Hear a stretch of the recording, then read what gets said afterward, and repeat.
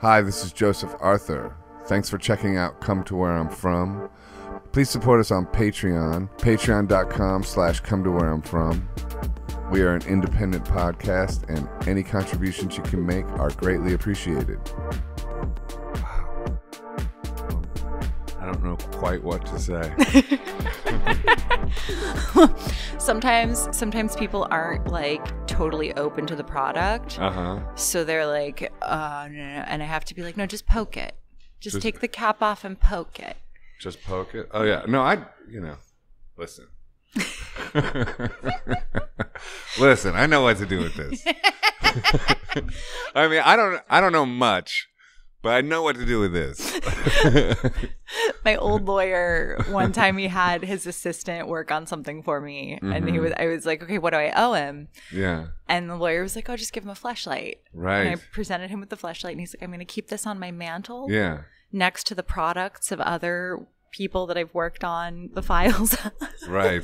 That's so funny. just imagine like I don't know, like gold record, silver record, my Fleshlight. Yeah. Well, I like that it's see through. It's really cool, right? Yeah, it is actually kind of nice. So they Angela White had her own see-through one for like a really long time Mm-hmm. and then this year, I think it was for Thanksgiving, Mm. they took some of the top performers and did clear ones for like a limited edition. Wow. And I was like I looked at it and I was like, "Oh my god, sex ed video." What What do you mean? Um oh, right. so I can like Yeah, you can. Yeah. yeah, I can like take like the fact that it's clear to like demonstrate like this is approximately where the G spot Oh, is, and like Yeah. here's about where you're gonna find the cervix because you can see through it. Where can someone buy one of those? Uh, fleshlight.com slash stoya. Okay. Well, Stoya gave me this, which I'm That very. I'm very touched. I'm touched. And it's so uh, it's interesting that you talk about the sex ed, and then you bring up, um, yeah, like the cervix. It reminds me of your Ooh! Oh gosh. your. Uh, Everything you okay, okay? Ehud? Ehud's freaked out. We're all freaked out to talk to you, Stoya. okay. But it, it reminds me of what what your take on um, language not being uh, efficient to describe sexuality and stuff Mm. like that.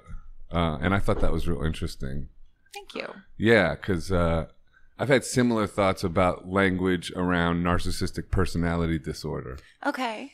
where it's ins- it's insufficient, hmm you know. And so when I read that or heard you talk about that, I was like, wow, that's cool that you uh, are looking at language that way, um, and and trying to go maybe trying to help it evolve.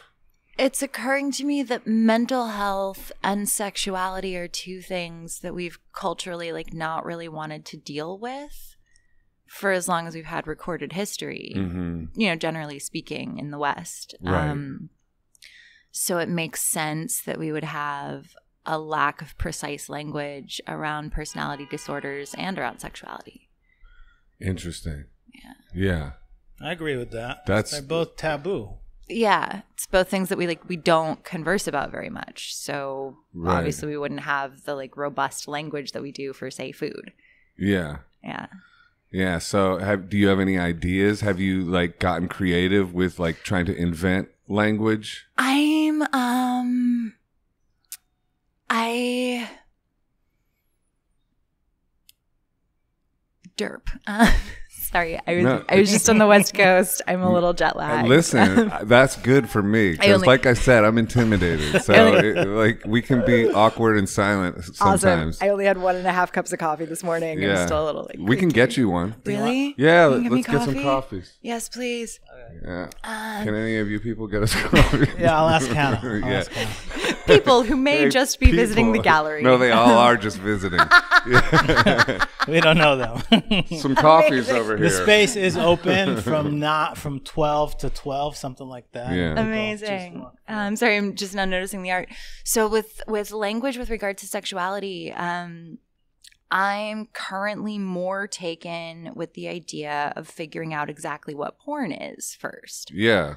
Um, because you know we have the like I know it when I see it, or like Mm-hmm. you know like shoe porn, food porn, like Mm-hmm. whatever. Um, but we don't we can't actually describe what pornography is in like a collective definition, like Mhm. consensus definition. We can say what it is to us individually, but like even then we generally have a hard time articulating like what makes it porn, like whatever. So Mhm. um one of the ways I'm going at that is I have a erotically themed book club that happens in Gowanus, once a month. yeah. called Sex Lit. Mhm. Um and I used to live over there in, Oh, Re- in. Red Hook. Yeah, Okay. Yeah. I lived in Red Hook briefly. yeah. Oh yeah, where? Yeah. Um right you know the coffee shop on Van Brunt that has the antlers for the Mm. door handle? Yeah, That like two doors down. it's right there. Yeah. Oh, cool. How long did you live there? a year. Oh yeah. There was a um a, a bird moved in. Uh huh. That'll happen. Yeah. So someone had like I had to move out. like without the landlord or a construction worker, they'd like raised the ceiling Mm-hmm. and put in these like storage cubbies. Right. And New Year's Day, I woke up and I had my period and I was like, it's not an omen, it's not an omen. Mm. And I got in the bathtub and then I got out of the bathtub and I'm drying off and the cat, one of the cats, Widget, comes rocketing around the corner, flies into the bathroom, jumps in the tub, realizes there's still water in there, jumps back out, crams himself into the radiator. I'm like, weird. Mm. And then I see Pixel doing the low cat, Mm-hmm. very, very cautiously sniffing his way. And he goes over to the radiator and crams himself under next to Widget. And I'm like, okay, what's going on? And I look in the bedroom and there's a bird just doing laps above the bed. Mm-hmm. And I'm like, and like, maybe I should just move. Like maybe I that, should that just did it. Yeah, like you just take the keys and the wallet and leave, but I, I can't abandon the the cats. How am I Oh. going to get them?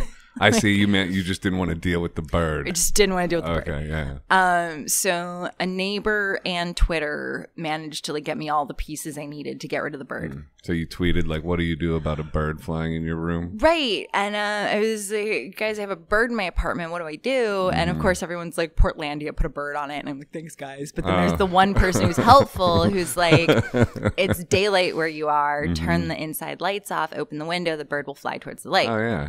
Yeah, but the That's bird some MacGyver type shit right there. the bird wasn't the sharpest, so the neighbor had to help with a Yeah. um Are we talking pigeon, hawk? Like what? uh, we- starling. oh, Yeah. it's a cute bird. So then I figured out where the bird got in. Uh-huh. and I put a towel over the cubby hole and like thumbtacked it so it was like covering, making a really great nesting space.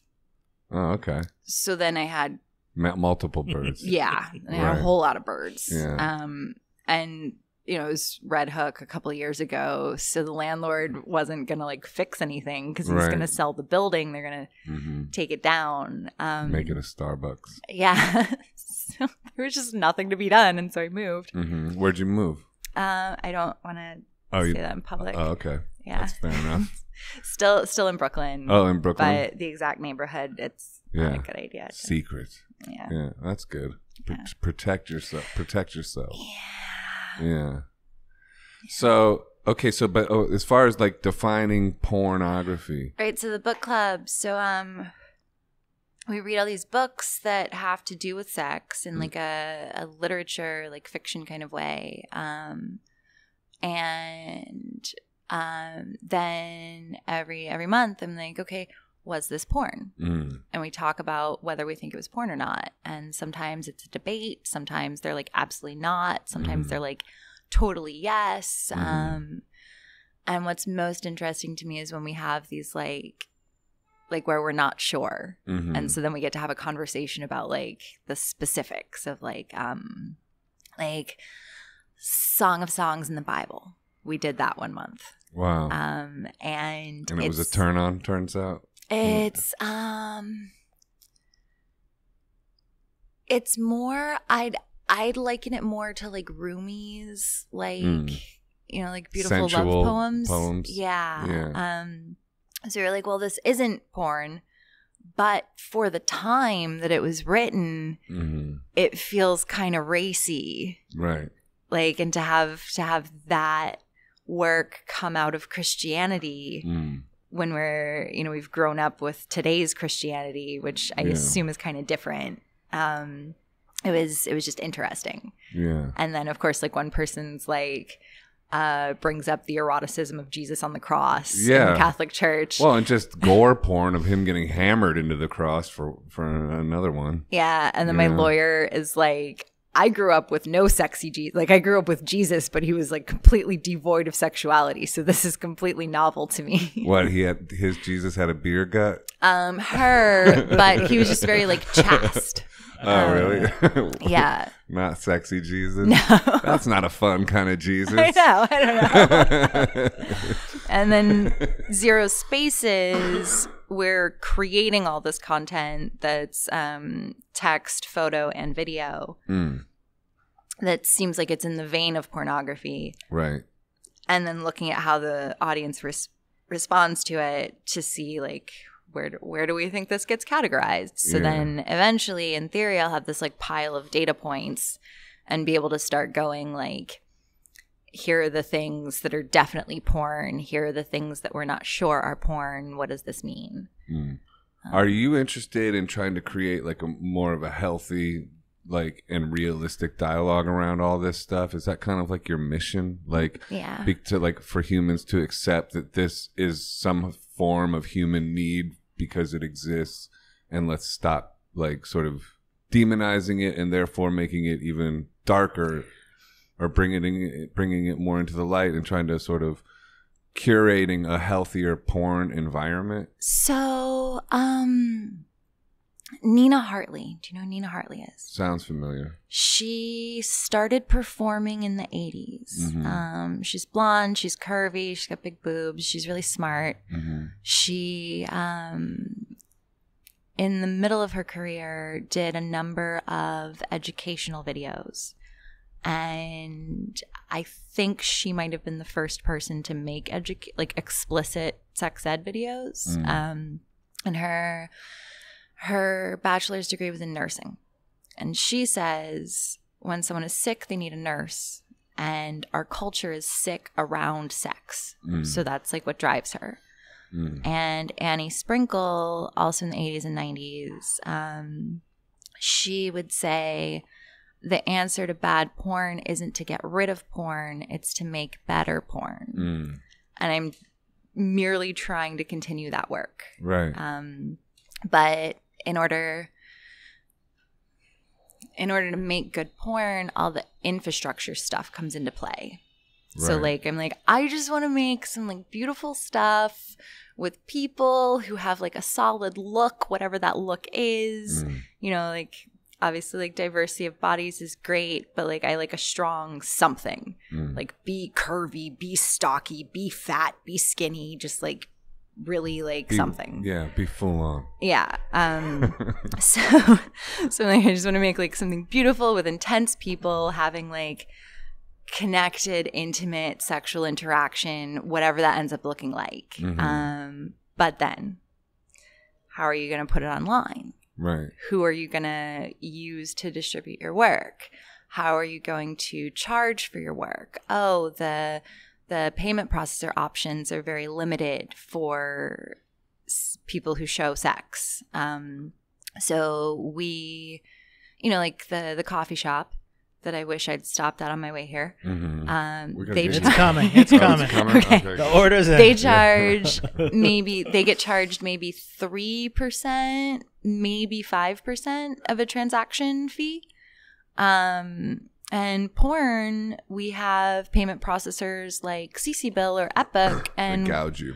yeah we pay more like 11 to 15% Mm-hmm. um yeah so and we we cannot accept paypal i mean technically we could but we would be risking losing that money because paypal's made it very clear it's in their terms of service they don't want their yeah. service being used to process payments for sex work right. of any kind um or you get into um you get into the censorship of really visa so um, each payment processor has these guidelines Mhm. for what kind of content you can show and CCBill i um i called them one year and i was like hey do you have like more specifics on this certain point um because I want to make sure we stay on the right side of the line.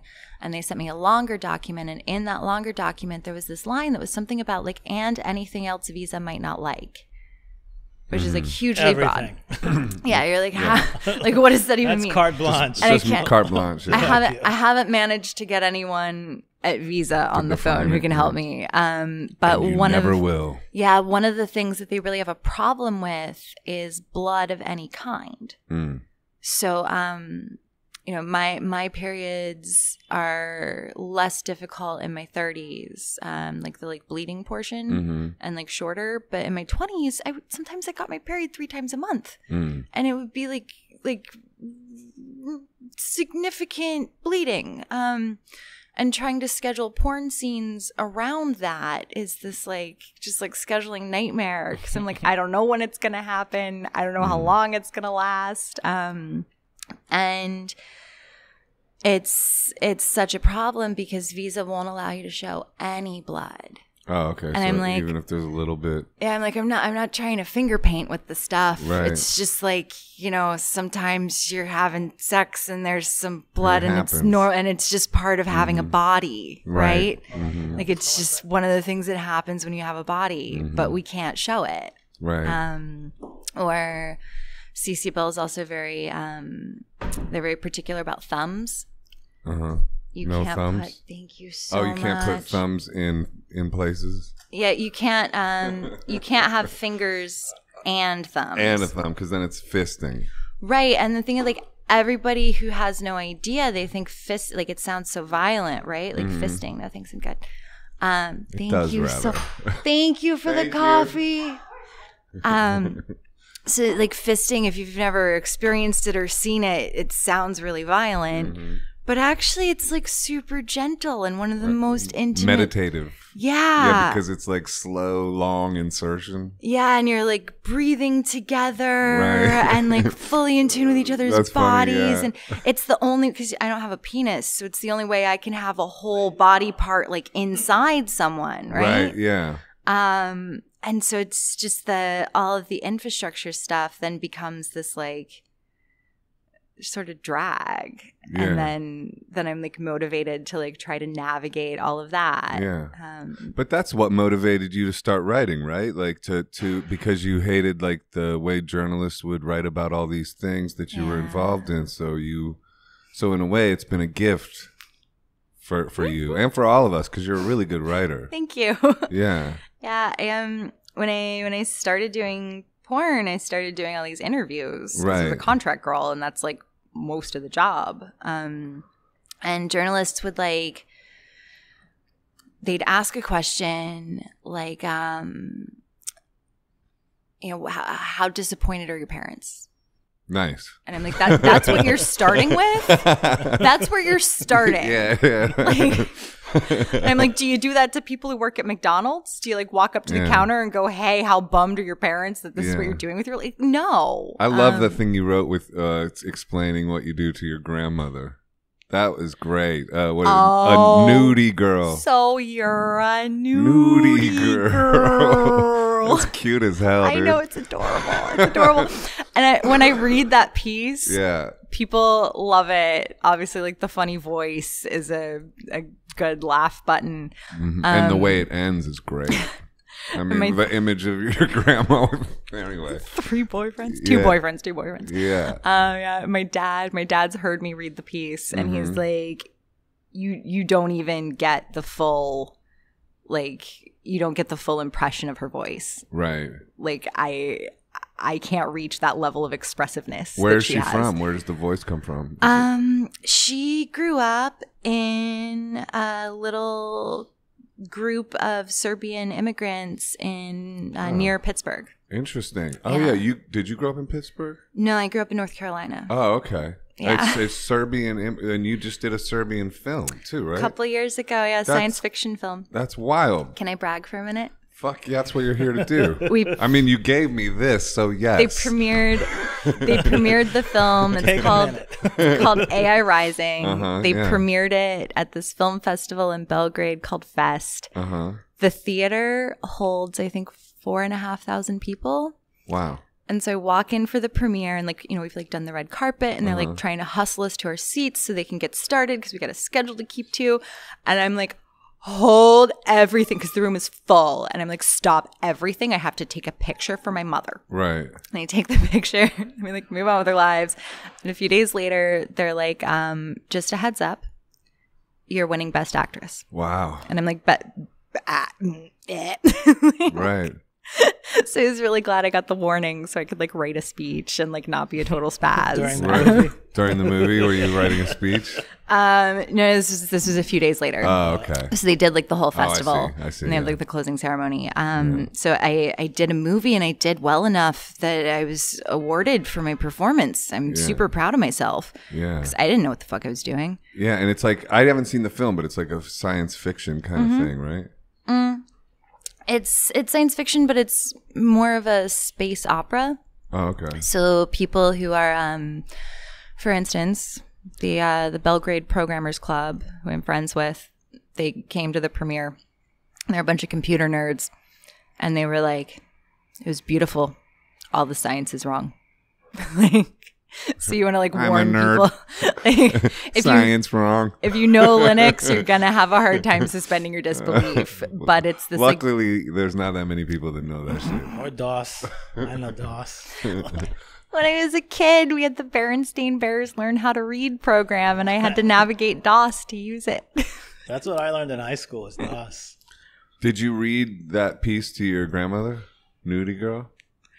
I didn't read it to her. I probably should at some point, but I've She'd probably get a kick out I've of it. I've told her about it, Uh huh. and I've told her about how audiences respond to it. Yeah, Um, that's cute. yeah. Yeah. Can I just ask one question? Because No. we moved away from it, but about the payment thing, it's it's blowing my mind a little bit. And two aspects of it. One is if the pornography industry is as big as we all know it is, how is no other company come up and agreed to ta- somebody's making collecting that money is is everyone having that hard of a time Um, and two is the visa thing. How does that apply to like um, Hollywood and movies that have blood in them? so they don't have sex, Some, you know, but you don't have sex and blood. It's got to be the combo. Yeah, that's they won't accept? That's where they have the problem is sex and blood together. Um, so like for instance, Joanna Angel with Burning Angel is able to do like Re-Penetrator and like her like horror porno stuff by being very careful about porn. where the blood is and where the porn is. Yeah. So Um, everyone's playing a game. yeah, and you're you know you like because they won't give us a clear line. You sometimes take a risk, and like you know worst case scenario they suspend your billing. Um, but probably they're just going to ask you to take the problematic clip down. Um, so like sometimes you like stretch and like overstep a little bit, and that's part of it because they won't give us a solid guideline. Yeah. Um, and you know forbes forbes years and years ago printed that statistic about porn being like a billion dollar industry and then they printed a retraction and almost none of these companies are publicly traded so they have no obligation to release books You mean the distributors? um, the distributors, the production studios, and like really, frankly, it's a lot of. Um, at at this point, we have MindGeek, formerly called Manwin. Take a second with that name, Man win. Manwin. Manwin company called Manwin comes into the valley, buys the company you're under contract to. How happy are you?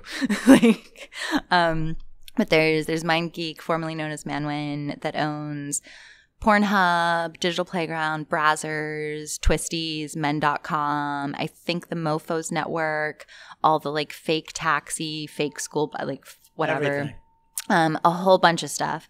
Then there's Gamma, and I don't think they Gamma slash Mile High, and I don't think they have anything to do with tube sites, but they have Adult Time. They have. Um, I'm not sure if they still have Sweetheart Video, but they did at one point. They have. Um, I believe they purchased Burning Angel recently. Um, and like a whole bunch of other properties. Um, I think they handle evilangels.com. Um, and then you have the Vixen Network, which involves porn, Tube, um, Tushy, Blacked.com, which is inherently racist, but we can move on. Um, and Deeper.com. Um, so you have these like entities where it's distributor, producer, and tube site all in one, um, all in one like entity. And they're not very forthcoming about how they make these things work. Um, you know, MindGeek, they were the main thrust of the tube sites. Then, as the production companies were devalued, they started buying them up.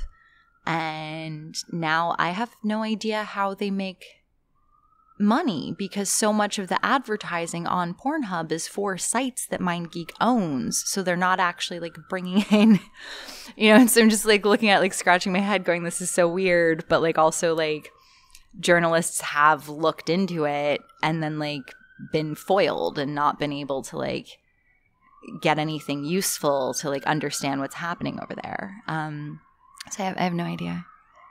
Yeah. You know what? Another great piece of writing you did was the one uh, equating the ballerinas with uh, condom law. That was brilliant. Emma Livery. What is it? Is it Emma Livery was her name. Oh, okay, yeah, yeah, thank you. yeah. That's a great piece. Thank you. What did you like about it? Well, for one, I learned that ballerinas caught on fire. You know, like I Gnarly. that's gnarly. Like, yeah. So I, I mean, are you? Can you read anything here for us, or I or are you don't not prepared? have my book with I me. didn't ask Yeah. her to bring it. My fault. Yeah. Um Philosophy, porn, and pussycats. Is that the? philosophy pussycats and porn. Oh, philosophy, pussycats, and Um, porn. She wrote a book of essays and. I wonder Yeah. I think I might be able to find that piece though. It's a great piece. I found it. Okay, good. Yeah, this is good. I went to Blue Stockings in Manhattan recently and left with a stack of books. One of the books was Deirdre Kelly's Ballerina Sex, Scandal, and Suffering Behind the Symbol of Perfection. It starts out exactly as salacious as the title implies and ends with a discussion of modern steps towards better workers' rights and healthier job conditions. Somewhere in the middle is a relatively extensive retelling of, Evan, of Emma Livery's story. I was prepubescent and enrolled in a significant amount of ballet classes when I first heard of Emma Livery.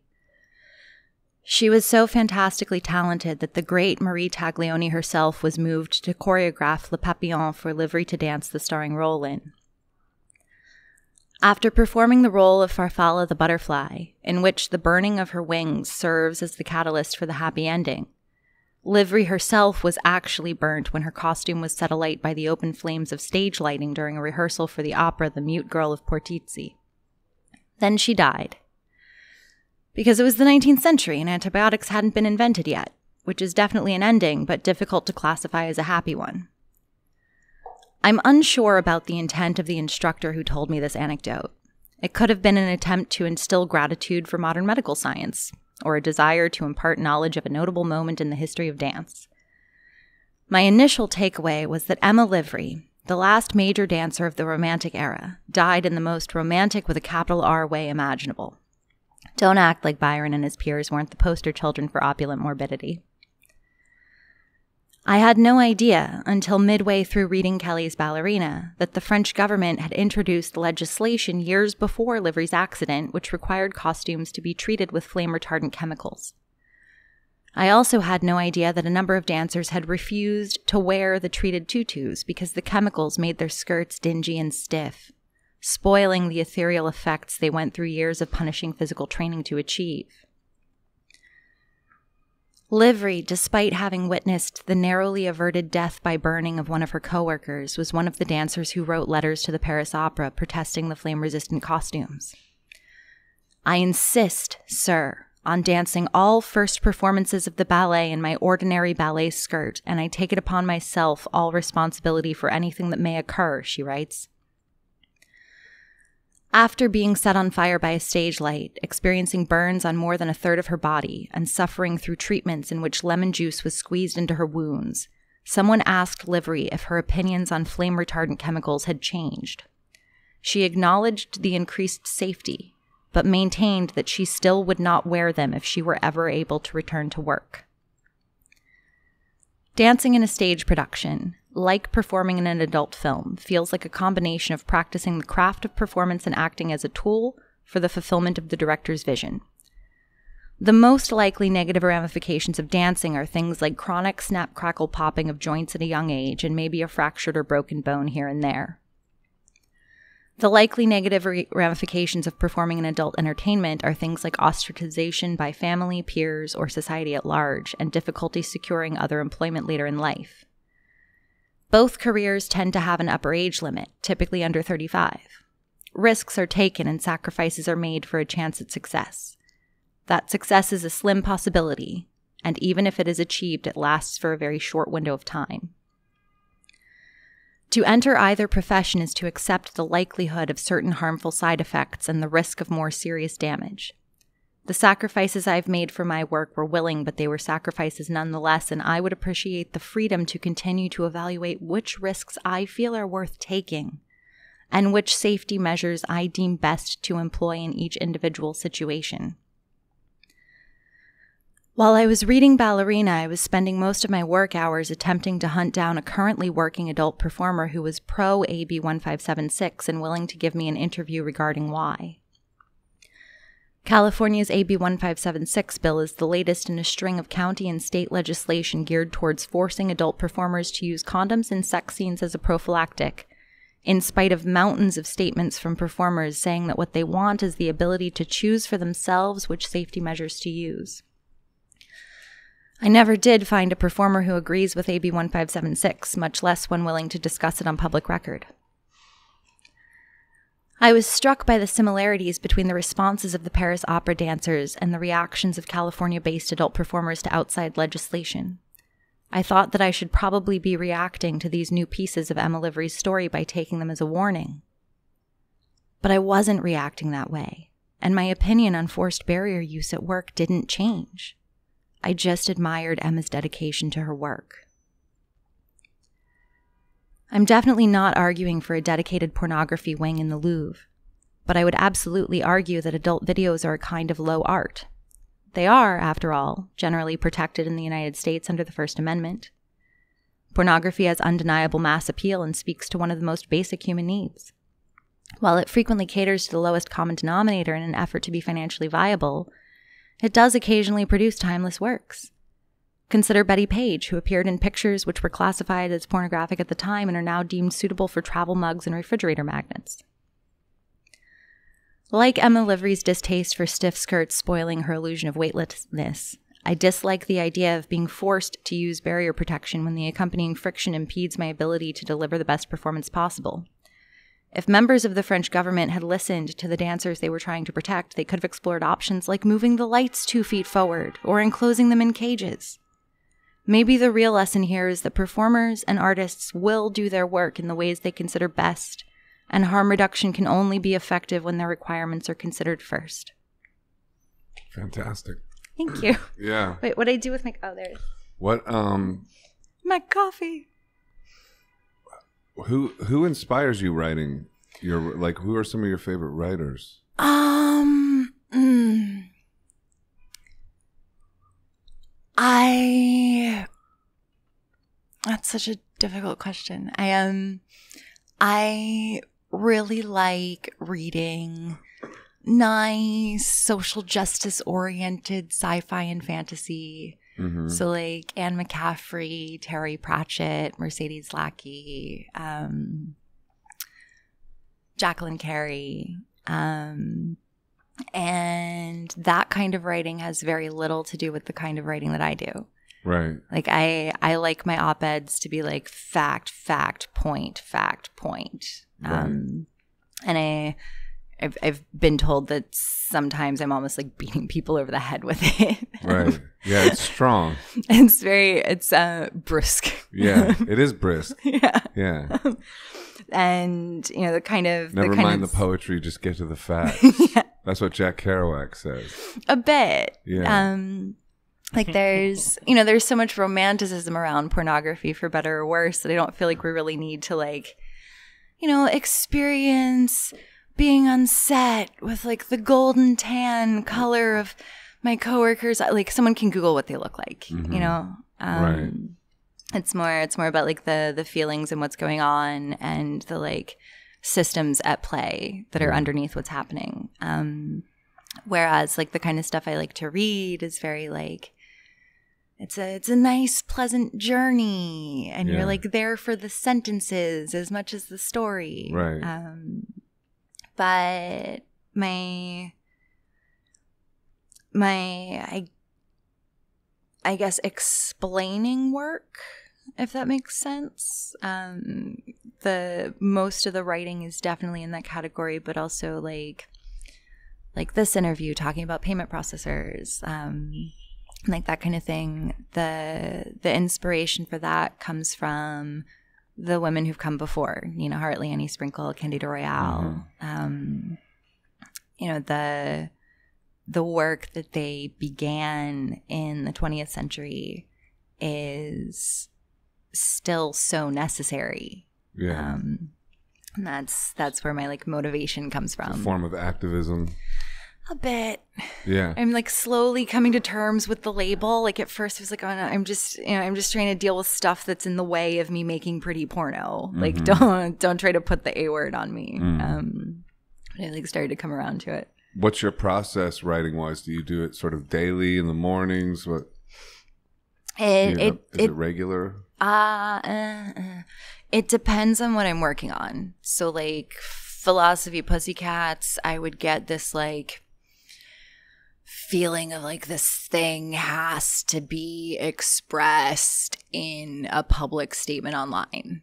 Um like I like have to write about this thing that happened and like how that relates to this thing that's happening in society or like I have to I have to express this difficulty I'm having as a pornographer because of some kind of censorship or like whatever was happening. It would be like I would sit because I had to and I would get it out and I would feel like ah relief and like move on. Um the the slate column whenever I get my questions and ha- like the next as soon as I get my questions the next time I have an hour and a half I sit down and I do them. Right. Um and Something like the ballerina piece. Do you have that idea? Like, oh, I can correlate uh, those two things, or did it come with the writing? And So there's in my life there's before ADHD medication oh, okay, and after ADHD medication.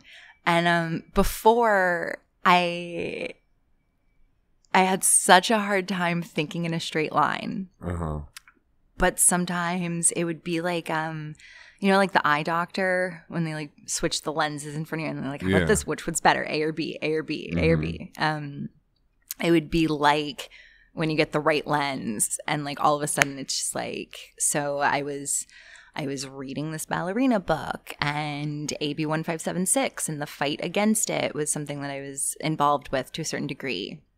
And all of a sudden I saw the overlap and was just like, oh God. And then you get the feeling of like I have to sit and write this down before my brain loses its grip on this. Mhm. Um and doing the slate column, it's um it's definitely better to be on the stimulant medication um because it's it's a different kind of work right, it's less expression and more um, reflection of what the writer is saying, the Mhm. person who's writing in for advice. Um, but on the stimulant medication, I don't get those leaps of logic that I used to. Interesting. So it's a trade off. So it thwarts you in some areas and helps you in others. Yeah. Yeah, that, But I don't night owl anymore. Like I like go to sleep at a reasonable time. which is interesting because it's amphetamines. Right.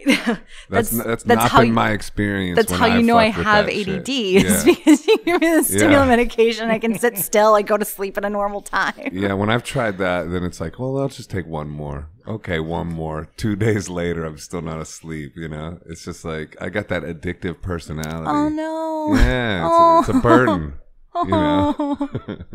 it is a so I had, burden. what was uh, growing up in North Carolina like? That's like pretty much the. So you're a Southern girl. oh God. Um You don't want to go there. I had I had one grandma her two kids were male. Mm-hmm. So she really like she had like decades of dress up urges that were unrequited until I came along. Mm. Um, so there were a lot of really frilly dresses in my childhood, Uh-huh. which my mom was not a fan of. Right. Um, so there was this like grandma mom tension where mom's like, be a human, and grandma's like girly stuff, and mom's like grumble, grumble, girly stuff. Interesting.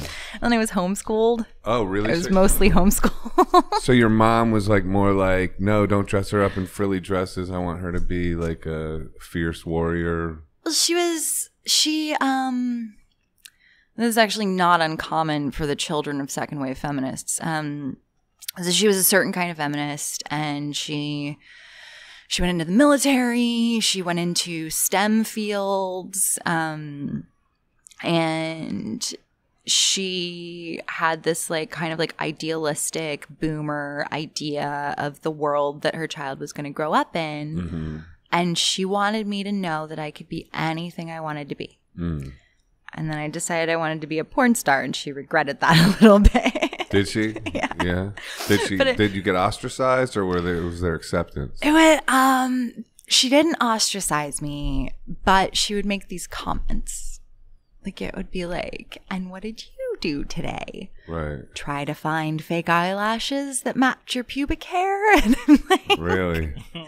And it's like, wow, Mom, burn. Mom. like you like re- you really hate the falsies, don't you? like, tell me about your feelings on mascara then. And why does why do they have to match? Really, I don't. Yeah. I think it's cool if they don't. I think it's interesting. it's like better even. So she would like she would like make these like nasty barbs as a way of like venting Yeah. her disappointment. Um and then, you know, years go by. I have two op eds in the New York Times. I've written a book, like Yeah. all that. And she's very proud of that. She just still doesn't quite seem to understand that it's very unlikely any of that would have been possible had I not done the mainstream porn part Right. with the fake eyelashes and the lip gloss and the like on and on. Well, it's informed your writing work. a Yeah. lot, to a large degree. I mean, Yeah, I wouldn't I wouldn't be the writer I am without all of that lived experience. Yeah. Um so mostly I just try to like steer the conversation towards safe topics with her. yeah. Um but yeah, North Carolina was And homeschooled. awkward. Mhm. Yeah, that's like coming from the feminist, probably mom not wanting you to be like sort of uh, programmed in the school system. No. apparently, and both of my parents swear up and down this is how it happened. I came home at six years old and was like, homeschooling. We should do this. Right. And they were like, why? And in like six year old talk, I was like, well, some of the other kids don't read so good. Yeah. They need more time. I don't get to read really at all. I'm not learning. This sucks. Right. Um, so they they looked into it and they decided it was actually reasonable. Um, so we did that for most of my childhood, but like every couple years, we would try another kind of school and see if like maybe maybe work. this format or maybe that format. No, because the longer I was homeschooled, the more like the more like strange You and like yeah. I know it's hard to go back into the box. Oh God. do you? Do you have any siblings? Mm-mm. No. No, it's just me. Just you. Yeah. Huh. That's pretty wild. Yeah. Yeah. And how long? When did you move? Did you go to college or? We moved to Delaware when I was like 11 maybe. Um and then then when I was 16, I sort of slowly started moving up to Philadelphia because Oh, by that point um I'd gotten I there was a it was it's like actually an accredited high school but you can attend through the mail. So I had like a real high school diploma Okay. before I turned 16. Um, because when you're, you know, they like send you the courses, and if you're real hot to get your diploma and like go out in the world, then you can just work your ass off and get it done in a Mhm. year. Um, so, so I did that. and I sort of like slowly moved up to Philadelphia. And then it was um Why Philadelphia? Because it was close and I Yeah. wasn't 18. Right. And like, you know, you, you go to your mom and you're like, I want to move out right. to a big city. Like, and you're not 18. There's a compromise that's got to happen. Where do you get that sort of bravery and independence? Mm. Where did it come from? I want to be flippant, but I don't want to contribute to low key racism. So I'll explain what I almost said and why I didn't say it. Love it. So what I wanted to do was be like, well, yeah, some Serbsky. Like I'm, I'm a quarter Serbian. Serbian women are made of steel. Oh, okay. Um, but really, I think I think every culture can look at every gender role that that culture has space for and go oh, like the men are strong because of this the women are strong because of this Mhm. the the non-binary or trans people are strong because of um and i think i think um espe- especially when you're talking about a region like the balkans it's really important to stay wary for flashes of nationalism Mm. um, so that's the whole the thing that I was like, maybe I shouldn't say that in Right. the explanation. Um, yeah, I don't, I don't know. Which pa- I mean, your parents they must have, or your mom. I guess you explained that she's got a, f- a fire to her. She's got a fire. She's very independent. Yeah. Um, she's she's fierce. Yeah. When she decides that something is right or wrong and decides to do something about that, she's like, like she's like digs her teeth in and locks her jaws. Mm. Um, and she was, yeah, she went off on her own like right after high school and traveled the country and had a whole life Okay. and did the army and yeah. And were you writing already when you were a kid in Philly, or? Uh, I had, you know, I had like a journal Mm-hmm. and then um there was this website God's Girls that sprung up as a competitor to Suicide Girls because Suicide Okay. Girls had such strict and controlling business practices towards the models. Okay. Um, so someone was like, "I'm going to build like Suicide Girls, but without being a control freak about it." Um, and it's it's not very. It has like 300 members now. Um, What God's girl? yeah, it had it had definite buzz in like the mid 2000s, and now it's like. Um, but they had the they had the same blogging and personality component. Okay. So you're like nude in these photo sets, But but, then then, your you're also yeah So people can totally fall in love with you. right. So I in every would- way. Yeah. So, you know, you had the blog and you like Yeah. post like dumb stuff on the blog. And slowly I was like, oh, I guess I should maybe like, when I moved to Tumblr, I was like, maybe I should like look into capitalization and like more punctuation than periods and commas. Right. Um, Yeah. and like slowly like started taking it more seriously. So you became a God's girl and started blogging. um, Is yeah. right? So yeah. It's kind of like that was the en- entrance into sort of what's culminated now to a degree, right? A bit. Um, there was also this other company called Razor Dolls mm-hmm. that was the same but more hardcore. Oh, okay. Um, and there, who I did my first sex scene with. Okay. Um, was a woman named Jade Star. I want to say. Um, Jade something. Let's call her Jade Star. I'm into it. Yeah, but those those two, the like that weird alt porn moment. Um, okay, so it was alt porn, Mm-hmm. sort of like. And what what was the decision when like the God's girl thing? Like, was the first like, okay, I'm gonna do this. I'm gonna become a nudie girl, like you know, so like I'd been go-go dancing the night before. oh, so you you started dancing at a club? Yeah, Oh, just like you know, you like go to the club, and then the promoters like, "Do you want to get paid a hundred bucks to dance on the podium where it's safe?" And you're like, "Actually, yeah." Oh, okay. so, so they're just like dancing in a club, um, and I was sitting on the couch. I woke up on the couch the next morning because my room was downstairs, and it was a death trap if you were drunk. Mm-hmm. And so I would sleep on the couch half the time if I came home drunk. Mm-hmm. I wake up and my roommate Johnny is standing there and he's like, Hey, you don't mind being naked? And I'm wearing panties and band aids over my nipples Mm-hmm. and a pair of fishnet stockings pretending that they're a shirt. And I'm like, Nope. And he's like, he explains, he's like, there are these websites couple of competitors to Suicide Girls have sprung up. You've mentioned being possibly interested in Suicide Girls in the past.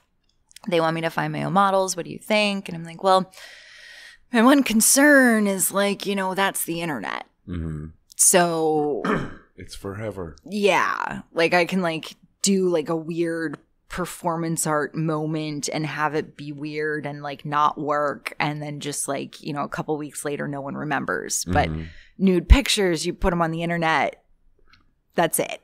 like everyone can see your vagina for the rest of your life. Yeah. Um so I was like, okay, let's like walk through this. And we're like, all right, let's imagine my dad saying, So, honey, you're doing porn. like Mhm. imagine imagine like all these like scenarios going poorly. Like, Mm. does this feel navigable? And then um then I was like, but you know, like I'm really impulsive. So this seems like a good idea. But what if like two weeks from now I wake up in the middle of the night, like, oh my God, what have I done? And he's like, well, we shoot the pictures, we sit on the pictures.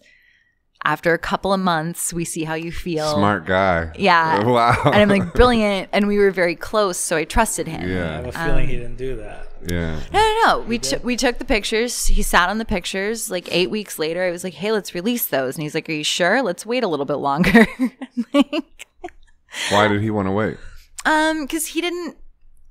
He's he's just a really good guy. Hmm. Like his first um, Is he successful now? He's uh he never he never wanted to do photography professionally really okay. um he's like a radiologist or something Oh, okay. now um he works in the medical profession Right.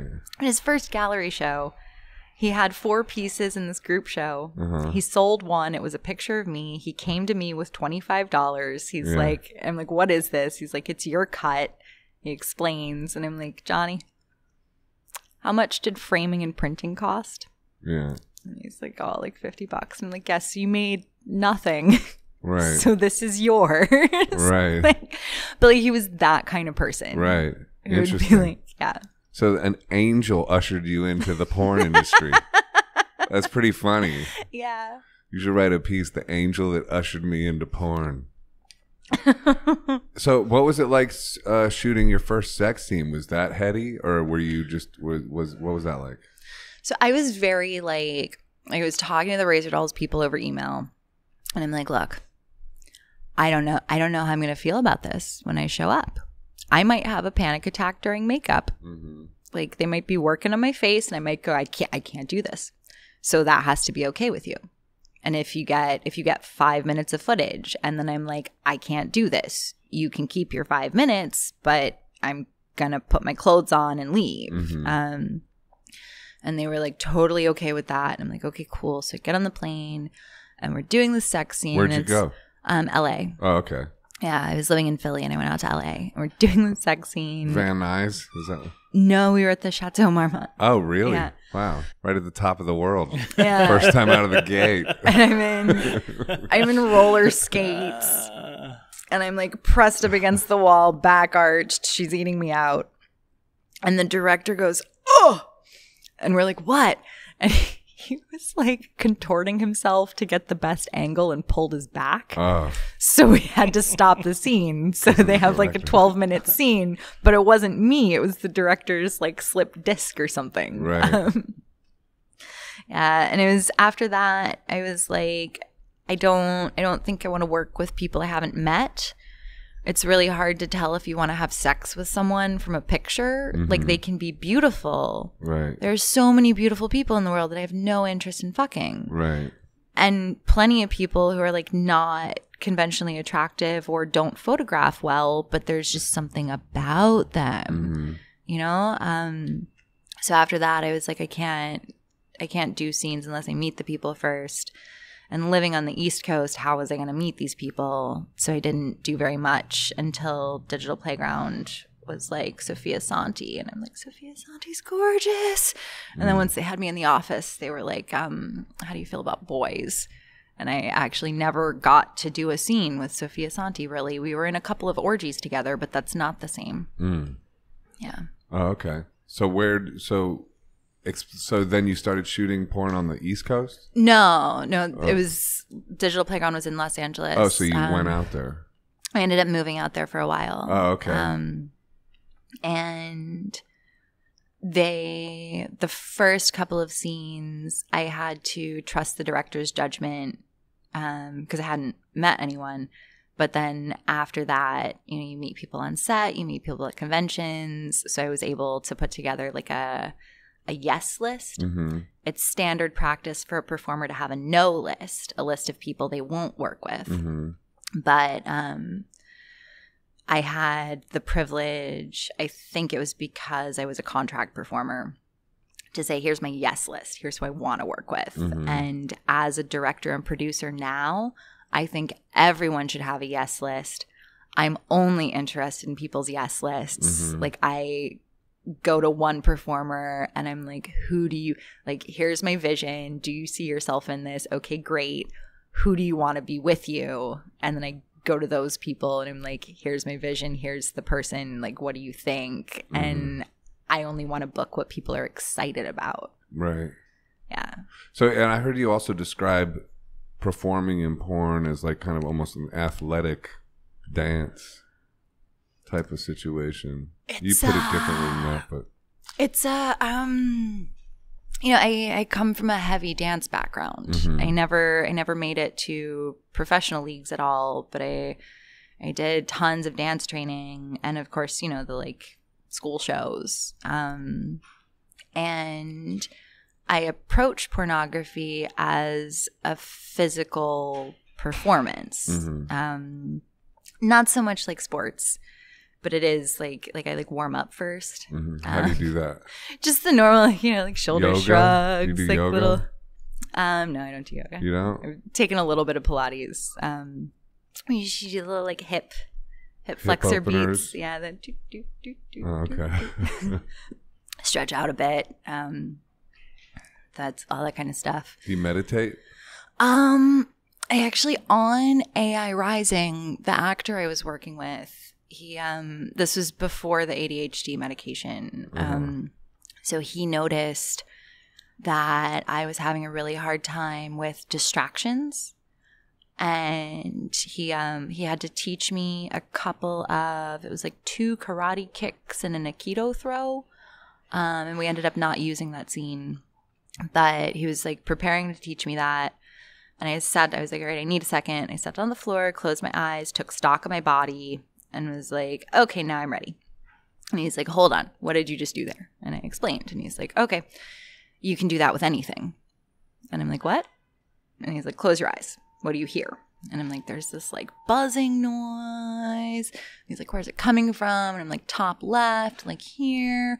And he's like, what is it? And I'm like, it's the air conditioner or the heater. And he's like, yes, let it go. And I was like, oh, wow.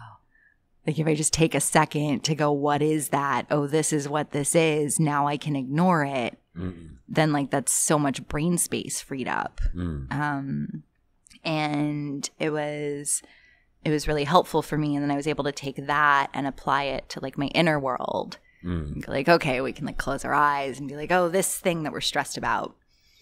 Is there anything to be done? Nope. Right. Okay. Yeah. On to the next thing. Sort of like metacognition, I guess.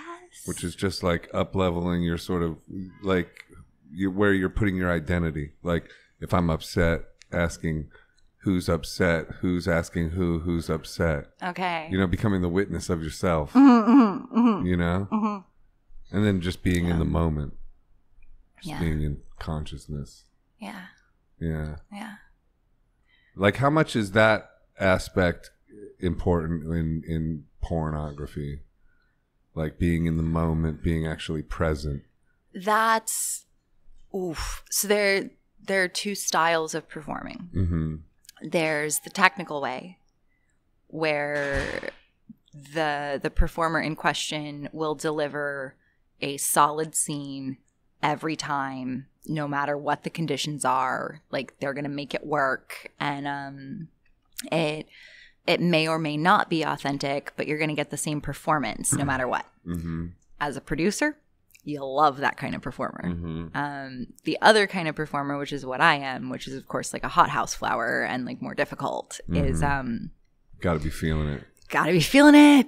Gotta be feeling it. Gotta be feeling the person. Gotta be feeling the scenario. Gotta be feeling the wardrobe. Cause I'm also like really sensitive to costume changes. Mhm. Um, like I, I, I use that in my day to day life. Like I'm like, oh, I'm going to a thing and I need to be like this. So I'm going to wear this because it makes me feel this way and it'll be great. Um, so like even even down to what panties I'm wearing has to like make sense. Um, and then I go into my body and take a minute and go like, "Hey body, how are we feeling today? Does anything hurt? Like, okay, brain, is anything in the way? Um, you know, let's like sort through and like like have a clear head and then you're just there with mm, you're simultaneously just there with the person in this little bubble and tracking where's the camera? Where's my light? Is my hair in my face? Um, and it's this like Duality. it's this duality that i also experience with narrative acting. Mm. um, so ballet you rehearse it until your body just knows it right? And you're performing and you're not thinking about anything and your body knows what step is after what step. And like at most your brain is going like point flex up Mhm. relax um but it's just these like high points Mhm. um but porn and narrative acting narrative acting it's more like the the removed part is giving me my lines um like knowing like what i'm supposed to say or like watching for my keyword from the other person Mm. but there is a similar duality where it's like i'm here i'm in this moment i'm reacting but also there is this part that's like not here at all and is with the script or with is my hair in my face Mm. yeah Do you ever have any th- issues like with your mind beating you up during the scene? Like, uh, like, cause I'm just equating it with being, a, I'm a musician. I perform and sing and stuff like that. Sometimes my mind will be like, you suck, dude.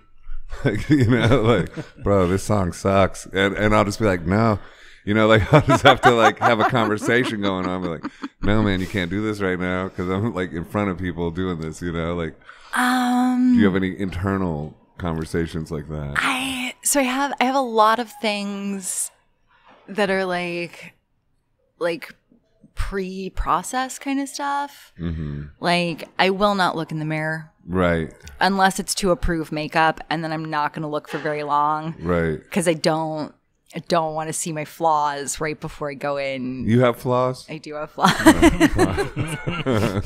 I don't know. Every single person in the world has things flaws. that nobody else can see Right. that drive them up a wall. Yeah. Um yeah. Except for me, everyone can see mine. I'm convinced. um so there are like things like that and then every once in a while like um there was one scene one scene it was on a high production like couples oriented feature. Lots of dialogue lots of lights. And we go in to shoot the male female sex scene. Mhm. and um first there's a problem with the camera. And then the sun's moved. So we got to relight to match the first stuff. And then the camera goes down again. And then the sun's moved so much that nothing's going to match. So we got to start over from scratch Mm. and then then i'm starting to get like tense and like you know wondering if it's me and the sound guy it's always the sound guy the It's sound guy the sound guy goes it's not you it's us Right. and i burst into tears and so then they got to take me to makeup to get touched up and like because he's like it's not you it's us and i'm like it is me Ah. and then we go back in and by that time they've had to like relight the whole thing because it's dark Right. um and that was that was rough and it took about eight hours Uh huh. to get Wow, it that's Yeah. crazy. So like, yeah, like so that so you're probably forced to like just be in a sexual situation for extremely long periods of time. I guess. Um, you know, that's that particular scene is like a major outlier. Right. And I mostly perform in my own productions now. Uh huh. And they're Are you still performing? Occasionally. Oh, okay. Um, and it, it's mostly for zero spaces. Um, Which is your own. yeah, Yeah. I'm, I'm one of the co-founders. Um, one of the co-founders. I have equity. I Right. built the whole thing. Well, Mitch built the website, but like you know, we like built it from the ground up. Yeah. Um, so when I'm performing, it's usually for myself, and a lot of it is the like around the world in 80 ways stuff, where it's just like me and a camera and someone I want to have sex with who wants to have sex with me. And um, there's like there's one scene with Erik Everhard in Budapest where um, Erik Everhard. yeah, Is that's his name, and his penis is wedge shaped. It's Yeah. very unique. Um, really? yeah. So we're in What do mean Budapest. wedge shaped? I mean, it's shaped like a wedge. A wedge. Yeah, like a, it's like a little triangle cone of flesh. It's a triangle. Great for anal. Right. Yeah, because it just like the tip's small, so it Uh-huh. eases right in, and then it looks huge. Right. Yeah. Um. Camera adds 25 pounds. I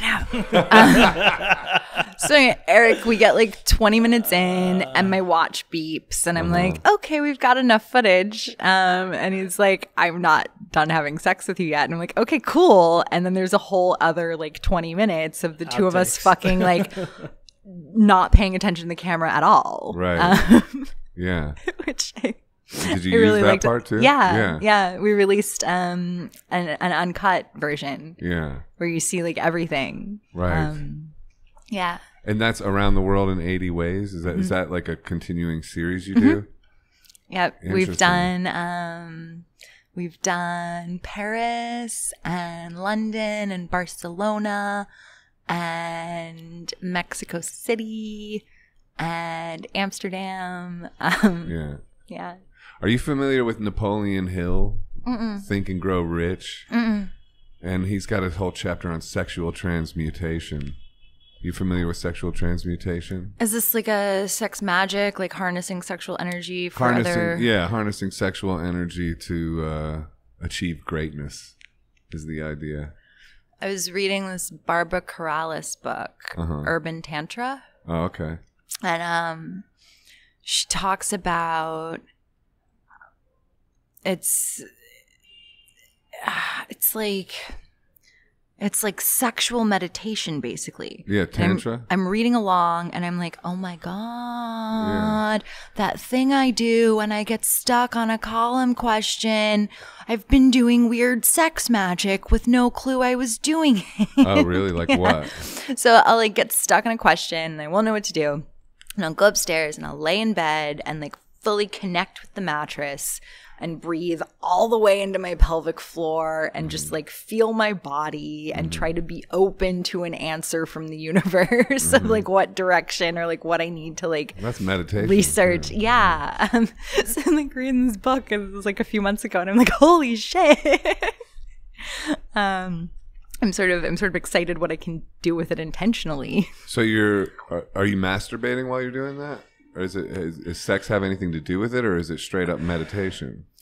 It's uh um I would I feel I feel sort of like I don't know enough about meditation to really make a statement here, but if I had to, I would say it's like a it's like a urethral sponge centered meditation. Urethral sponge centered. Yeah. Explain that. Like it's like like the focus is here. hmm Oh, Um, okay. like right like you know around the pelvic bone um and like when i'm breathing like you know they tell you to do like belly breathing like breathe into your Like pranayama breathing. Like, i guess i thought that was kundalini uh, I, oh well, it's a form, I guess. Yeah, Kundalini uses that too. It's called pranayama breathing in the yoga practice I go okay to. well there's like that like fire breath thing Fire, breath of but fire. just like you know just like at like a psychiatrist or whatever they'll be like breathe into your belly breathe into your solar plexus Mm-hmm. and i'm breathing all the way into my pelvic floor Mm. and like the the kegel muscles are Right. involved And so the an- okay, yeah, and Um, yeah. the answers are coming from there, maybe. sometimes Yeah, I mean, I, I don't know if the answer like comes from my vagina like a crystal ball, but it there's a there's like a clear headedness that then lets me take like a an angle that I wasn't previously seeing on the question. Yeah. Yeah. I've been exploring a lot of that stuff sexual transmutation, semen retention, stuff like that. NoFap. What's your take on NoFap? Found the right person to say that to, Joe. I don't know. I was I was not gonna bring it up, Right. but then I'm like thinking of Ralph, and he was like, he would be like, "You didn't even ask her about sexual transmutation." Or uh, Right. I think um I think I think sex positivity is largely great. is that? Are you considering NoFap sex positivity? Mm-mm, I'm getting there. Okay. So I think I think sex positivity is largely great, but it can get like into the other ditch. Right? Okay.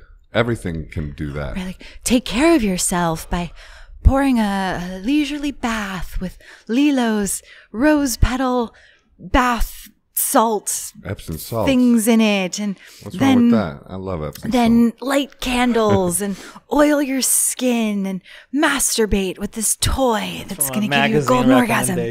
Um, and like, you know, like, oh, like, you know, me and my husband have sex three times a week and it's wonderful. Well, me and my husband have sex four times a week. Oh, are we having enough sex? Because they're having sex four times a week and we're only having sex three times a week and we want to be sex positive. Or like, um, you know, like, I, I, feel like poly is a valid thing, so I want to participate in it, but I feel all these icky feelings and I don't think it suits me. And it's like, well, then stop it. Like, sex positivity can become, um, I'm I'm still not done rambling about it. One more quote. I, uh, I believe that pornography p- can be good. So, in order to demonstrate that, I'm doing this thing that I'm uncomfortable with performing in a sex scene. And it's like, none of that's necessary. Like you don't you don't have to be into kink to be sexually open and interesting. You don't have to be into anal. You don't have to be kissing men if you don't want to kiss men. You don't have to be um, going out on dates that are lackluster because your partner has a secondary partner of their own. Like you you don't have to be performing polyamory. You don't have to be performing sex positivity. And I think sometimes taking a break from sex can be really good. Yeah, it's helped me. Yeah. It helped me out. But like I said, I have that addictive personality. So for me, it's like I tend to be extreme, you know. So Yeah. and then I can uh, I put I feel like I put all that energy when I can focus on that stuff. Like just I can put it all into like artwork and stuff like that. It, it sort of manifests into like this kind of thing or music and stuff. I ca- I, I feel like I can transfer it into other realms. Sometimes my sexual appetite just stops hmm and it correlates with how much work I have going on. Right. So when it's when it's a two solo column week plus the chat plus I have a piece I have to write for someone else plus I have all the zero spaces stuff plus we're like in active production. I'm like not interested in sex at all. Right. I'm not interested in flirting. Sometimes I'm like, how dare you look at me as a sexual creature when that is not the headspace I am in right now at all. Right. Um, and then, you know, like work like backs off and I'm back to hornball. What about yeah? Like, uh, well, that's the th- same thing with me in terms of it. When I when I open those, when I open that door back again, then all of a sudden it's like, yeah, you just want it more and more Yeah. because of the huge endorphin hit. I guess, or just because sex is great. I don't know. That is great. Yeah, it is great. But like, do you have uh, um, issues with like relationships reg- around your work? Uh, You must, right? Like, and are you currently in a relationship, or what's that like? I uh so right now I have a boyfriend and a girlfriend and that's all I have time for. Um I the biggest problem is my schedule. Mm-hmm. So for the first 10 years of my career, like, you know, like traveling all the time, you go to set to do a 2-day wonder, that's what they call the like like featurettes where it's like, you know, it's got like two stars, some filler performers, um some up and comers. Mm-hmm. There's a plot, it's four or five scenes, but it's like bare bones and it takes 2 days. But those are very long days. We don't have a union. Mm. our crew isn't part of the the crew unions. Um, so at least when I was doing that kind of work, it was totally normal to show up on set at 6 7 o'clock in the morning and be leaving at 1 a.m. Mm. and then report back at like 8 or 9 um, for another very long day. Mm. So, oh shit, how'd I get on that? Well, because I asked you about relationships Right, and if schedule. that gets in the way, and, Schedule. and you're talking about schedule, but I was talking more about like, don't they get bummed out if you're sleeping with other people, even if it's for work, or is that? I mean, I know that's kind of a cliche question. Every, Yeah, mostly what they get bummed out about is schedule. is like, oh, didn't hear from you for a week because you were in South Africa. Right. I got one email saying, "Hey, my phone doesn't work. Bye." right. like or like you know like i was having a crisis and you had no cell phone service because you were up in the mountains Right. or like you know it's saturday night. I want to snuggle with my partner but they have to return this email interview um like respond to all these text messages um like you know it's like you want to snuggle and watch a movie but i'm tied to my laptop. Um and that um especially especially the the like in town and out of town part you know you're in town so you want to see them as much as you can and Yeah. then you're out of town and there's less communication and so it's like inherently hot and cold which can be very unhealthy very quickly Yeah. so um Similar to touring Yeah, it musician. sounds like the life of a touring musician. yeah, it's si- Yeah. very similar. yeah so i've, I've dated Or a working artist, it's like similar too, because it's like sometimes I get swept up in this type of shit, and I and I can't. I have no time to like deal. Really. yeah it's like i'm i'm working right now and I- it's flowing and i got to do it and I got to do it, and it's extreme, and you got to do it for like long periods of time Mm-hmm. sometimes, and yeah, Yeah, yeah. When I'm on like an organizational project, yeah, my apartment ends up covered in like large pieces of paper with little bits of paper stuck to them with tape. uh-huh. And I'm like, I'm just like, everybody leave me alone while I do my weird serial killer wall. right, And like, I will be back in a week once I have my brain wrapped around whatever I'm working on. yeah, Um, and it, it can be really difficult. And um, because because there's so much footage of me having sex with people, mm-hmm. anyone who has a jealousy issue around that or um, some kind of like you know low self-esteem about their own sexual appeal they can go to the end of google and torture themselves right. so That's, that's a certain kind of fun. I, f- I find out I find out pretty quickly who, Who can handle it? yeah and a lot of people can't because there's so many factors Did you meet your current boyfriend and girlfriend in like outside of the industry, and then have to break break it to them, so to speak, or So the the girlfriend I was in um she lives out of town. And I was in her town for a um a reading of Jiz Lee's coming out like a porn star anthology, which is where the nudie girl story is originally from. Um and she came up to me and first she was like, "Do you ever work with girls like me?" And I was like, "New girls? Nope." I don't I don't hire new performers. I don't have sex with new performers why? cuz it's cuz it's amateur hour and they're usually not really sure about what they're doing hmm and I don't I don't want to be part of someone's regret. Right. Um so then we ended up becoming friends and then a few years later I could kind of feel that she still had a crush and I find her appealing. So it's like, would you super super slick. I'm like, how do you feel about trying a dating context? it's just like so nerdy. Um but we we decided to do that. And the boyfriend, I was walking home from the subway and this brick of a man is walking the other way down the sidewalk and we make eye contact and we, we pass each other and i stop and turn around and then when he looks over his shoulder i'm like hey do you live in the neighborhood and he's like yeah would you like to get a drink Wow. Um, you stopped and turned around. Yeah, he was really hot. He must have been super hot. it's really hot. Um, and then then we were texting a little bit and he was like, What do you do? And I'm like, Well, right now I'm um mostly a writer. I write for Slate. And he went on Slate and found a piece by a woman with my first name. And he was like, Is this you? And I was like, No, no, no. And I sent him the how to do it link. Uh-huh. And he's like, Oh. And then we Uh-huh. meet up for a drink. And I'm like, I mentioned the porn career. And he's like, Oh. Right. um like he just didn't know but he he took it like a champ he um he comes from an acting background and is in professional wrestling school Oh, okay. the like the like performative stuff Uh-huh. um like wwe style So related to to what you do too. It's Yes. Because fighting and that, and then it's an act. the layers of like it's real but it's fake but it's real but it's fake but it's real Right. like that that whole rabbit hole he has an understanding of um yeah.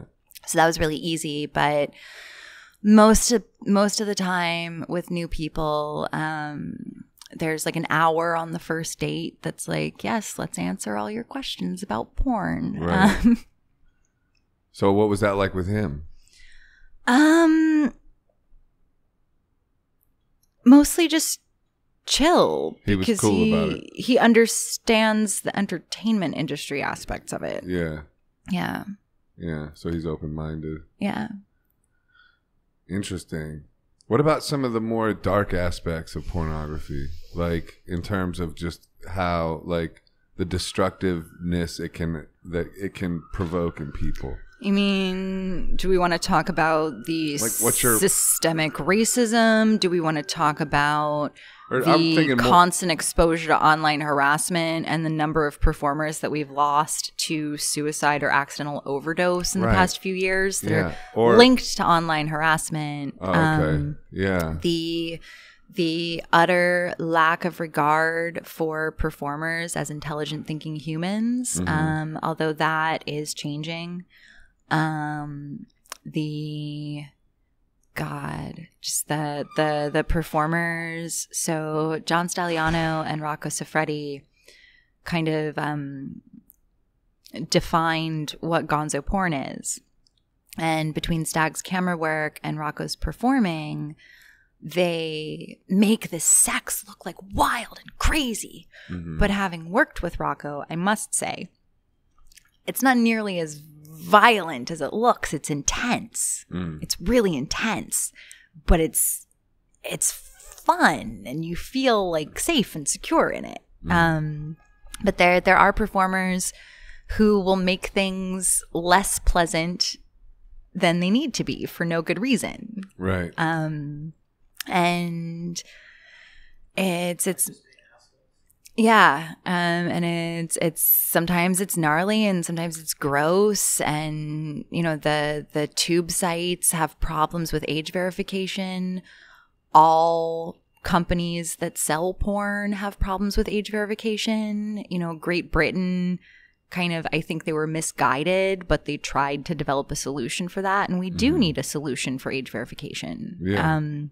we also need better sex ed because porn cannot be sex ed. Like you you cannot go to pornhub and watch a bunch of porno videos there and think that you know how to have sex. Right. um like it's just not there's so much important stuff that doesn't um doesn't get shown in video because sometimes you can't show it. Like how do you show empathy in a video? Mm. like how do you how do you mark uh how do you mark a top seeing their submissive check out for a second Mm. and then checking in with them. Like how do you how do you convey that to a viewer? How do you um how do you how would a person um well actually i did that. I'm like how would a person incorporate condoms in a realistic way? Because i think i think a lot of the problem that consumers have with condoms in porn is it like just sort of mysteriously appears. Mm. like there's a blowjob happening And then a And then a condom. and then there's a Condom on it and it's in someone and like you're just like but wait like Yeah. There's a scene missing. yeah like we're missing a part um so there are just like all these things that you can't you can't use porn as a substitute for sex ed for. Yeah. Um so it's it's this whole like gnarly ball and we have all this hysteria around porn. But that's not going to help us make better porn. That's not going to help us solve this problem. That's not going to get us better sex ed for kids Right. that they're finding before they find porn. Yeah. Um, what do you think of the idea that porn is weaponized to keep people shame based and easily controlled? I mean, I think that sounds like really conspiracy theory. Yeah, I'm a conspiracy But- theorist. If we want to walk it, if we want to walk it back a couple of steps, Right. Yeah. shame. It's like a chicken or egg kind of situation. Shame is an erotic motivator for a lot of people. Oh, yeah. Okay. Now you said So, something. so BDSM uh, sort of facilitates No. that, doesn't no, it? no, that's really unfair to BDSM. Okay, you cannot. sorry. It's not. It's not this like kitchen sink of kink. Like Mm. I, I enjoy playing with masochism. Mm-hmm. You fucking degrade me. We're done here. Mm-hmm. Like, call me a dumb little anything. Like, Mm. Just like you want to play the like everything you do is wrong game. Like, uh, uh no, I am not there. I'm not there to be humiliated. I am not there to be degraded. I am not there to be made to feel small. Um, and so like to circle back to the very beginning with nuance around sexuality like we say BDSM and we think of all these things and we need to be more precise so the the fact that a lot of people in the kink and BDSM scene have a strong degradation or humiliation interest Mm. that's valid but to just point to BDSM I'm like whoa whoa whoa, whoa. We gotta have some nuance here um Nuance. Yeah. nuance nuance Devil's in the detail. It's all Yeah. So um So what were you saying about Even, shame though? like- Before I said BDSM. yeah, I was gonna go I was gonna go to the couples oriented feature market. Mm-hmm. Um a lot of the mainstream porn plots are this person is cheating on this person, so they hire a detective who has sex with someone along the way and then brings evidence of the cheating to the first person. And so then they have sex with the detective to like get vengeance, I don't know. Um or like now there's all this like fake incest stuff. Right. and that's i don't i don't get it i don't find it erotic um people who do get it already have that market under Well, control forbidden. yeah and so i'm like i want to make porno about people who are having sex with each other and everything's above board Mm-hmm. and everyone wants to be there and everyone's partner knows what's happening and is fine with it and there's consent all over the place like Mm-hmm. Right. that's that's where i like to make things Yeah. yeah That's cool. At what point in your career did you, or what made you decide I'm gonna go and do this on my own, be my own producer, my own director, my own company, and just what was the turning point? Manwin bought Digital Playground. And I did a couple of more projects with them. And I didn't like working with them. Um, they they put me I think it was like June or July. It was like an hour and a half out into the desert at noon in full sunlight to do a sex scene. And like, look at me. Like, I'm not, so I'm like frying in the boiling hot Southern California desert sun. And then they sprayed sunscreen on me, but then there's like sweat dripping in the penis. And so then there's sunscreen in my, my delicate lady cavity and that f- messes up the ecosystem. And then the next week they're like, Hey, can you shoot on Tuesday? And I'm like, my pussy is broken because of the sunscreen. And they're like, Oh. Sorry. like, no, I'll tell you when I'm ready to come back to work for you guys. And I just never did. Um, so I decided I wanted to make something that I wanted to make.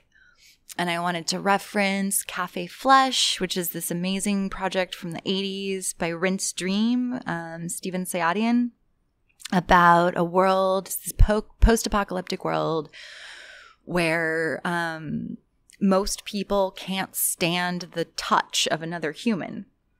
and those who can are pressed into service doing live sex shows for the people who can't be touched to like watch to like experience vicariously um and it's really it's a porno about being a pornographer like it's this metaphor for being a pornographer Like meta. yeah. So I made this project called Graphic Depictions. Um, and there's it's like in this theater and the the audience is all wearing these masks. So it's a bit like Twitter, where it's like you all know what the inside of my rectum looks like in HD.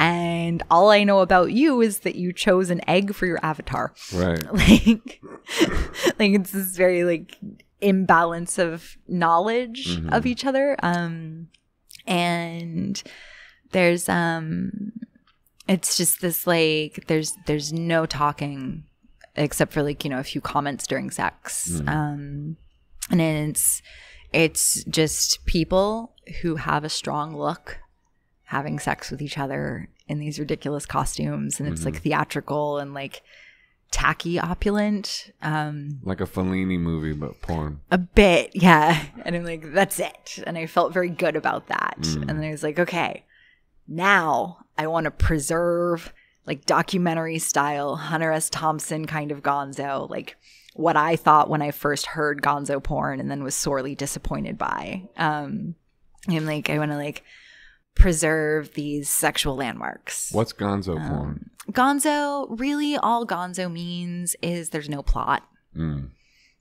yeah It's just straight up about the fucking. yeah we've basically we've got three categories um uh, two two sets of categories so there's feature and gonzo which is plot no plot Mhm. and then there's mainstream and feminist queer independent alt Mm. um so you'll have queer features or mainstream gonzo um but i do i do feel like we could use some more nuanced categories Mhm. of like what is what Yeah. um yeah What are you working on now? mm, Are you writing more stuff? i have a second book in the works um What's is it? More essays? No it's about dating Oh, okay. so it's because ev- everyone asks Nice. like tell me about relationships Right. I'm well, like that's, okay That's what everybody wants. To, I mean, that's what you want to know. Yeah, and so I'm like, okay, let's just make a book. I think because everybody struggles with monogamy and, and all those questions around that. And so, you know, it's exaggerated in someone Mm-hmm. in your field. So I think we just naturally think, hey, you probably have some insight. How do you deal with that shit? And I- You and know, I- like, you know, like- think to I- the extreme. I think Yeah. I do have insight, and um, actually the the format we're going to use is um for the book. Yeah, the through line is like Stoya goes out into the world and learns how to be less of an asshole in romantic relationships, Uh huh. and so we'll use my fuck ups and then go to actual experts and be like, get their You opinions. get Yeah. the opi- opinion about how you dealt with it. yeah. Or Oh, like what could be done better, what was going on under the surface. That's a good Um, premise. Yeah, I think Um, it'll be fun. What's that called? We don't have a title yet. We don't. We don't have a publisher yet. We're still at the proposal stage. Um, My fuck ups is is a good uh, like because that one book, what the subtle art of not giving a fuck, went Mm-hmm. went ballistic. yeah, So putting fuck in the title is maybe not a bad idea. but I'd I'd like my second book to be searchable on Amazon, Right. Unlike my first one, yeah, but your first one doesn't have a, a fucked up title. porn in the title though. Really? Uh, So that's I, it. I think that's the problem. Um, and Zero Spaces, we have been releasing an issue whenever it's ready, which Mm-hmm. is like cute, but not a viable business. Mm. So in April, we're moving to monthly releases, a whole issue every month. Um, which Issue, is when going to you be mean frantic. issue, you mean what? Um, so we, Zero Spaces does um, batches of content around a theme. So it's um, it's like a magazine where every issue is the sex issue, but with video in. So you'll have like a traditional porn scene with like penis and vagina, where you're like seeing that, and then you'll have like more artistic or creative um, like solo videos or um, where we're slowly building more educational content as well. And we'll have essays and photo sets. So like um, the explore issue we have um, we have a feature on candida royalle who was like a a real trailblazer in the adult industry. And then we have an interview with a woman who made a documentary about candida. Um, and then we have Moxie, who's a certified sex educator with, I believe, a master's at this point. Um, she's in a photo set as like a pinup. And then she has an essay talking about her first experience with electricity and sex. Um, so you have like all this like stuff around a theme, and we call it an issue. Um, and so that's going to be monthly, which is going to be a lot. Doing another play in March called The War of Woo. I'm very excited. Where's that? Um, that's a good question. Uh, to be determined. What? I have, well, I have an Audrey, and she's like 35% of my brain. She's my assistant. Oh, I see. So I'm like, that's a good. Oh, Audrey's Oh. not Where here. is she? Right. Text her. yeah. So yeah, like I'm curious about your leap from being, you know, I, you kind of touched on it, but just the leap of being a performer into being a business, like kind of a mogul type situation. I mean, you kind of have that vibe. I like, don't know about mogul. Or whatever, you're a producer. You're you got this. You're like you're doing you're doing a lot. I don't. Okay, mogul might be the wrong word, but like So you know what I'm talking about. Like where, what was that leap like when you So it- it empowered wasn't- yourself? To it the- wasn't a leap. right. First, um, first I was a performer under contract with a studio, and I had the PR machine backing me, and I learned a lot there. And Fleshlight did a deal with that company. Right. So like five of us got fleshlights over like a period of a couple years. Um, and then fleshlight, I get royalties on. Mm, So unlike the porn scenes that I performed in, right. like when you perform in a scene for someone else, it's almost always work for hire. There's no points on the back end, nothing. yeah. So fleshlight, I get royalties. It's passive income hmm which gave me The the, free time to write Yeah. on Tumblr for nothing until I started getting interest for paid gigs. And at that point, it was like, you know, $50 for like a 1200 word piece. Um, Right. And then because I was able to take the jobs that were going to be interesting and get exposure over the jobs that were going to pay me well immediately, I was able to build a career and Slate actually pays me pretty decently. Right. I'm I have a contract with Slate getting paid really pretty decently for a freelance writer in 2020. Right. Um, the editor sorts through the questions for me, and it's really wonderful. Um, And once I got the writing thing online, because I, I, I will spend money on, um, I will spend money on shoes. I will spend money on lingerie. I will get a decent haircut if I'm going on camera. Um, and of course, like, you know, taking care of my body and my mental health. But I don't, I'm not into fancy dinners. Mhm.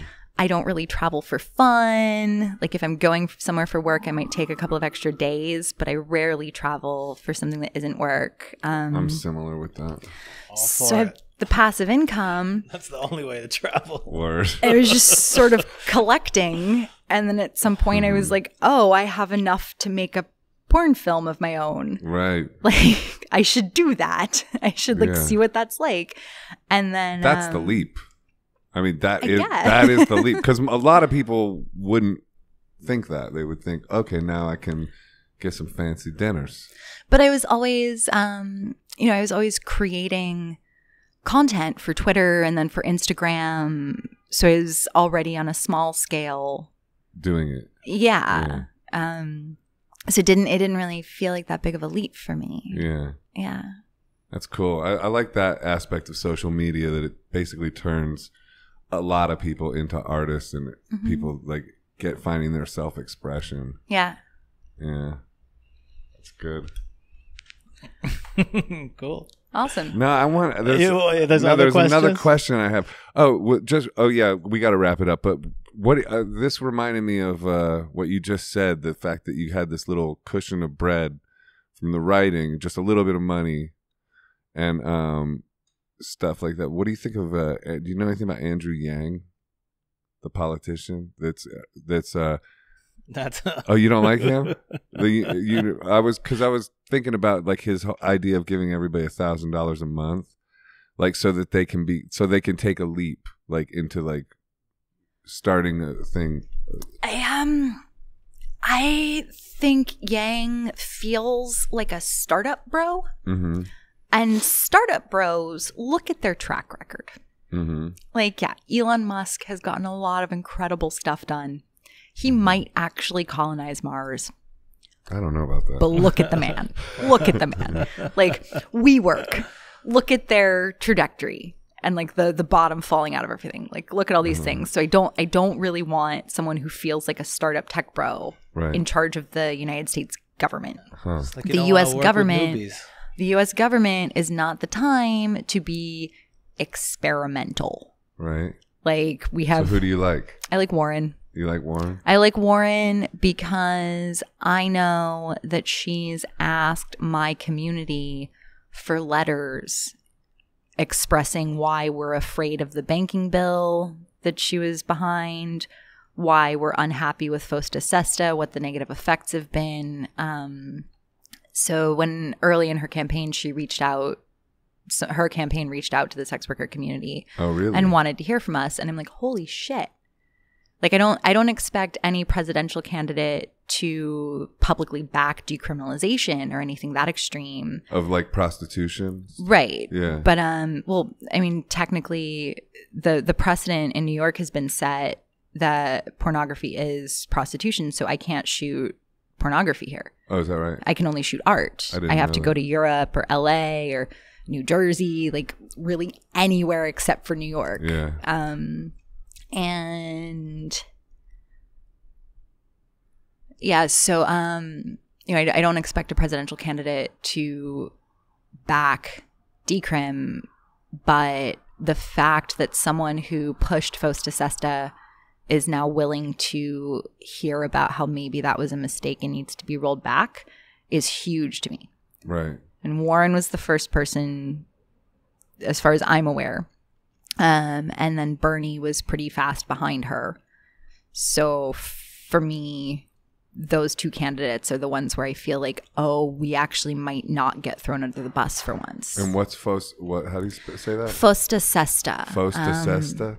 It's a it's a bill that aims to reduce sex trafficking and protect the children. Okay.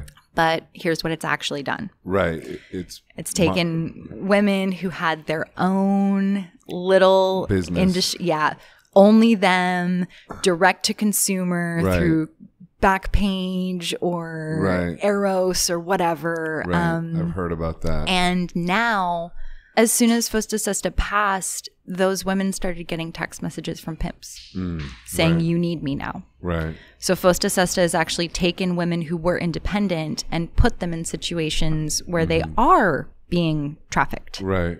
And so it's done it's done the opposite of what they opposite, wanted it to. And the thing is, at the end of the day, I think we can all agree on protecting people who don't want to be in sex work. Hmm But those of us who are in sex work have this idea that um, legalizing it, getting some sunshine in here, being able to do it in the open, discuss it in the open, you know, maybe even dreaming of being able to go to the police if there's a problem. Um, that that's what we think is the way. Right. Um, some of us think legalization, some of us think decriminalization. Like we can all debate the finer points, but we're like, look, if we could do this in the open, it would be safer. And some other people in the United States believe that they can stamp it out. Mm, But I think all that happens is it just gets pushed further underground. right. Yeah, but um, the the U.S. government, um, Sanders and Warren, and one other person whose name I'm blanking on, have um, gotten together to request that the effects of Fosta Sesta be studied, Mm, which is huge. that's good. Yeah, Yeah. yeah. Well, cool. Thank you for doing this. Thank you very uh, It's much. been a it's been a pleasure. Thanks for having me. Yeah, uh, I, did glad I you reached did you enjoy it? I did. It was You a did? pleasant conversation. Uh, yeah, and uh, you weren't that intimidating. I was. It was cool because I was re- listening to your essays, and I was just like, "Oh yeah," I was like thinking of all these things I could ask you. I like the one too where you like let dudes off the hook for erectile dysfunction. She's like, this is a I good- listened to that one. Yeah. Oh, you heard that one too? Yeah. My boyfriend, yeah. whose identity I am very delicate around, so I can say things like this. Sometimes he comes so fast, hmm and then he feels bad about it. Right. And I'm like, that's great because I know you're going to do it another three times. Right. Like, Yeah. okay, get the first one over with quick, and then Yeah. we can like have fun. For a Get couple that out of the way. Now let's get down to just, like, business. do this. It's like an appetizer. Um, You should get him this book called The Multi-Orgasmic Male by Okay. Mantak Chia. okay. Yeah. It's about uh yeah, well it's about sexual transmutation too, I guess. Yeah. or semen retention. Anyway, so like I guess that's a wrap. Um Awesome. but yeah, thank you for doing it. Yeah, you weren't that you weren't as intimidating as I thought cuz then I started listening to some other podcasts with you and yeah, like, like you were kind of rough on some people. When they, well, especially when they describe what you do.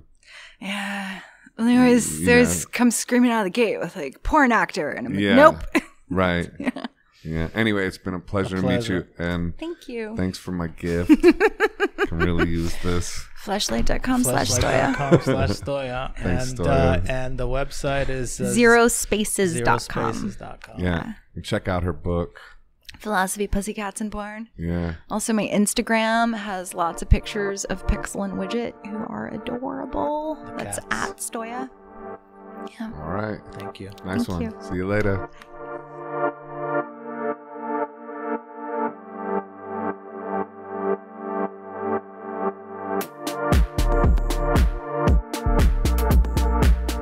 Hi, this is Joseph Arthur. Thanks for checking out Come to Where I'm From. Please support us on Patreon, patreon.com slash come to where I'm from. We are an independent podcast, and any contributions you can make are greatly appreciated.